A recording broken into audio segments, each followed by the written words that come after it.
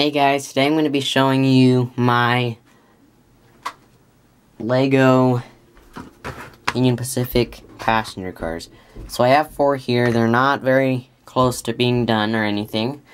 This one and this one are the closest because they have windows and stuff in, but I don't have any I don't have any flats on the roofs or anything.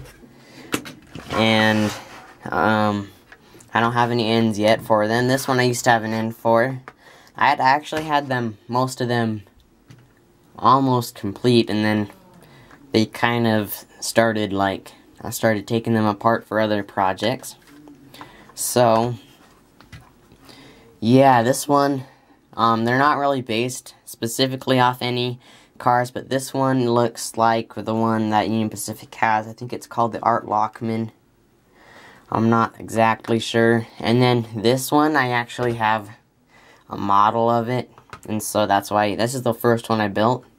And then these two, that one, and that one, I just built them for, they're not really based off anything.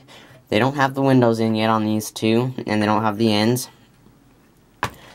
But, they're somewhat complete. They're really just the shells for now. Um, I'm going to try to finish them in the near future. I'm not sure because I'm busy doing a lot of other things. But, yeah, I hope to have them done soon enough that, I don't know, just have them done. So, yeah, please, um, like and subscribe. If you, please say in the comments if you'd like to see separate videos for all four of these, or any one of them, and possibly even a how-to build on, um, on any one of these, or all of them possibly, but they're not that complicated, they're not way, like, hard to build, but still I'll do it if you'd like me to.